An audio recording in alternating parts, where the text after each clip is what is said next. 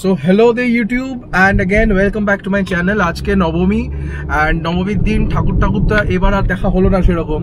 So we are going for a road trip almost half halfway through the road trip ব্লগিংটা একটু দেরি করে করলাম।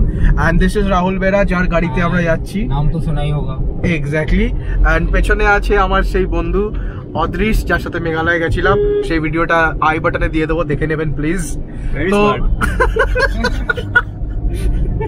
Exactly আর ওর সাথে মিও মরে গেছিলাম ওই ভিডিওটাও এখন আই বাটনে দিয়ে দিচ্ছি ওটাও দেখে নেবেন। যেটা ডিসলাইক করতে বলেছিলাম। হ্যাঁ রাইট তো যাই হোক আজকে দেখা যাক আমরা ডায়মন্ড হারবারের দিকে যাচ্ছি।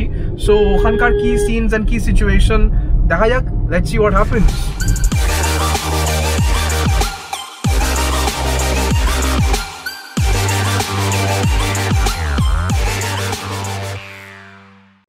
দিনটা ছিল গতবার মানে দু হাজার কুড়ি সালের দুর্গাপুজোর নবমী। আর যেহেতু এই বছর সেরকম বন্ধু বান্ধবদের সাথে ঠাকুর ঠাকুর দেখতে তো যাওয়া একদমই সেফ না, সেই জন্যই আমরা ভাবলাম যে তাহলে একটু কোথাও থেকে ঘুরে আসা যাক। আর আমার এক বন্ধুর গাড়িতে করে আমরা তিন স্কুলের ফ্রেন্ডস স্কুলের বন্ধু মিলে বেরিয়ে পড়লাম ডায়মন্ড হারবারের উদ্দেশ্যে। আর বুঝতেই পাচ্ছেন যে তিন বন্ধু অনেকদিন পর দেখা হলে কতটা মজা হয়। প্রায় দেড় দু ঘণ্টার মধ্যে আমরা ডায়মন্ড হারবারে পৌঁছে গেলাম আর পৌঁছে এই মেরিন ড্রাইভের মতো রাস্তাটাতে আসতেই মনটা সত্যি খুবই আপ্লুত খুশি হয়ে গেল। করোনার পর এই ফার্স্ট কলকাতার বাইরে ছোটোখাটো কোনো একটা ট্রিপে বেরোলাম। সত্যি অসাধারণ একটা অভিজ্ঞতা হয়েছে, যেটা আপনারা এই ভ্লগে দেখতে পাবেন। So please keep watching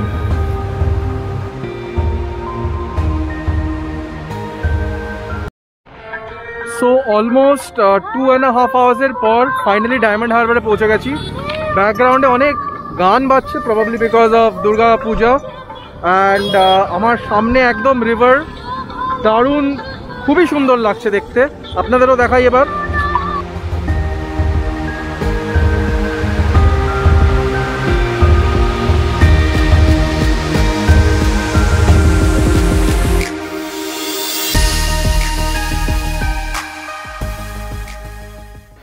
জায়গাটায় কিছু ছবি টবি তুলে আমরা এই গঙ্গার পার বরাবর সুন্দর রাস্তা দিয়ে এগিয়ে গেলাম।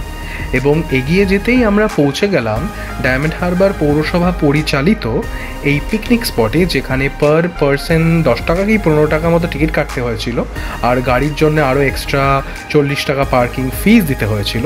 আর এইবার আপনারা দেখতে পাচ্ছেন এই ছোট্ট গঙ্গার পাড়ে অবস্থিত পিকনিক স্পটটি। যদিও এটার মেনটেনেন্স এখন সেরকম নেই বললেই চলে বাট স্টিল খারাপ লাগবে না। তো ফাইনালি আমরা এখন ডায়মন্ড হারবারের একটা নদীর ধারে পৌঁছে গেছি। গাড়ি পার্ক করে দিয়েছে। অ্যান্ড এখানে সত্তর টাকা লাগল, পঞ্চাশ টাকা গাড়ি ভাড়া। আর আমার আর অদৃশ্যের দশ টাকা দশ টাকা।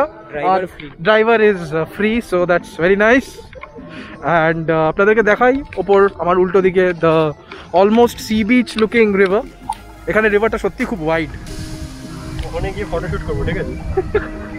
হ্যাঁ অবশ্যই। হ্যাঁ বিকেলের দিকে।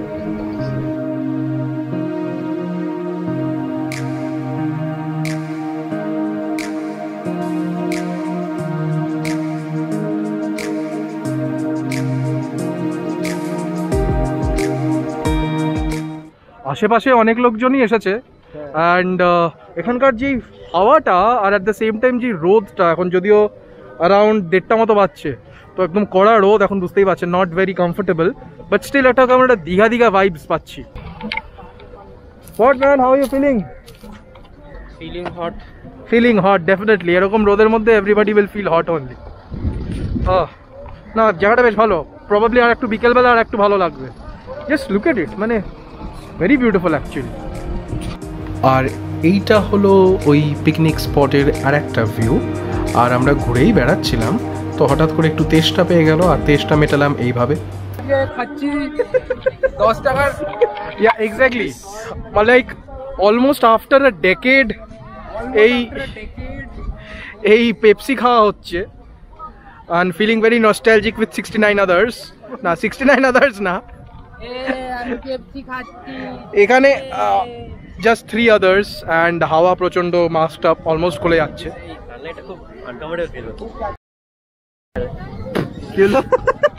এটা থাক। আপনারা দেখতে পাচ্ছেন খুব ভালো খুব ভালো সিন এখানে।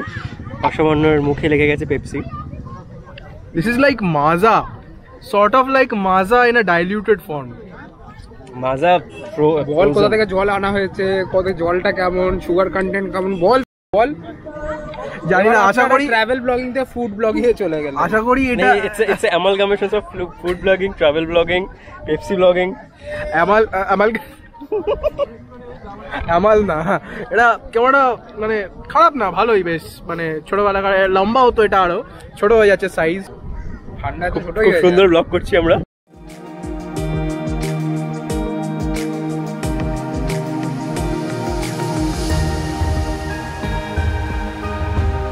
Very nice you can see ছাগল। ধরবি তো। ধরতে চেষ্টা করছি আমি। এটা নিয়ে যাব? হ্যাঁ ধর ধর। ধরে নিয়ে গিয়ে রান্না করে খাই। বেস্ট হবে। ওর মা কিন্তু শুনতে পাবে হঠাৎ করে কোথা থেকে।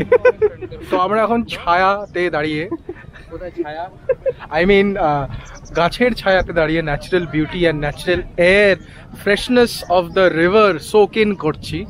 And this is a very মানে গুড এক্সপিরিয়েন্স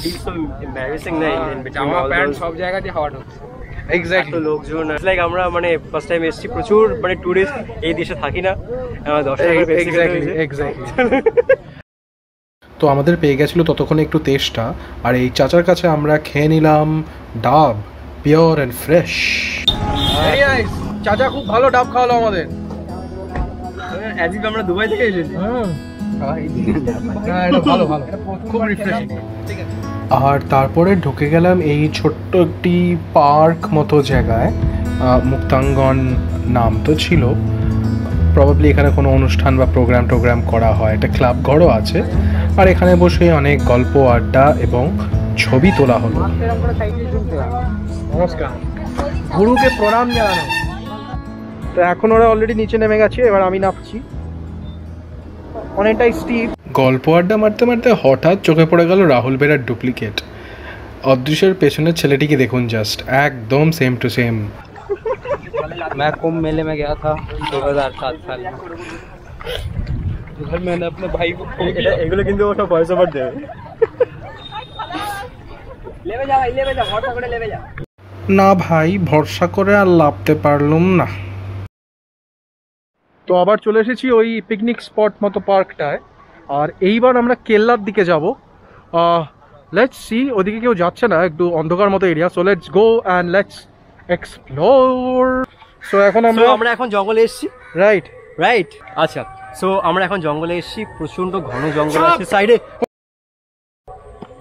এক্ষুনি সাপ ছিল। একটা ছোট অ্যানাকন্ডা দেখেছিলাম আমরা।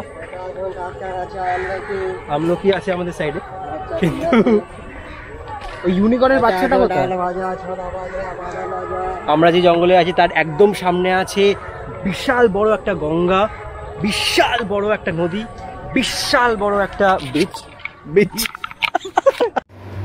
ওই পিকনিক স্পট থেকে একটু এগিয়ে আসলে আপনারা পৌঁছে যাবেন এই জায়গাটিতে, যেখানে একটু গাছ গাছালি একটু বেশি আছে।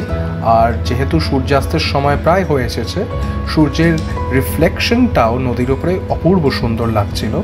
আর আশেপাশের সবুজে মোড়া নদীর তীর সত্যিই চোখ দুটিকে খুবই আরাম দিচ্ছিল। আর এখানেই ছিল কোনো এক সময় একটি কেল্লা যেটার ব্যাপারে অদৃশ কিছু বলতে চায়। So the history of this place exact place হ্যাঁ হ্যাঁ ডায়মন্ড হারবার ফোর্ট বলা হয়। আচ্ছা। ওই যে দূরে যেটা দেখতে পাচ্ছেন আপনারা ওইখানটায় ভাঙাচোরা। ভগ্ন শেষ মানে প্রায় ভাঙাচোরা জিনিসপত্র আছে। ভাঙা পিল আর ভাঙা সিঁড়ি কিন্তু. ফোর্টটা নেই। হ্যাঁ। এটার হিস্ট্রি হচ্ছে হ্যাঁ। In the year 1997 sorry in the year 97 97 in the year 1892 যখন আমার সবে 20 20 বছর বয়স হবে তোর কুড়ি বছর এখন তোর একশো কুড়ি বছর বয়স। তখন সেই সময় আচ্ছা। আমরা রাজা নবীন চন্দ্র দের নাতির একদম।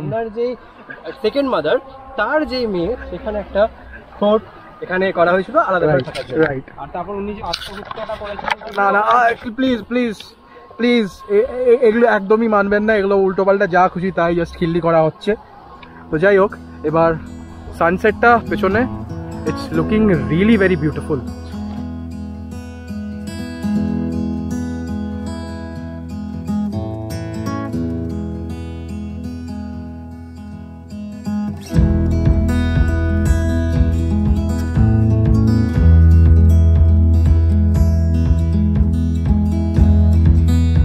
finally শেষ সময়টুকু আমরা এই জায়গাটাতে বসেই গল্প আড্ডা মারতে মারতে দিনের শেষের সুন্দর, অপূর্ব সূর্যাস্ত দেখতে দেখতে কাটালাম। কিছুটা গোয়া গোয়া ফিলস আসছিল ঠিকই, কিন্তু কোথায় গোয়া আর কোথায় ডায়মন্ড হারবার যাই হোক, দুধের স্বাদ ঘোলে মেটানো হলো। আর তারপরেই নেমে গেল সন্ধে, আর এইবার হলো যাওয়ার পালা। তো এই মজার ভিডিওটি যদি আপনার ভালো লেগে থাকে, তাহলে অবশ্যই লাইক শেয়ার অ্যান্ড সাবস্ক্রাইব করে দেবেন থ্যাংক ইউ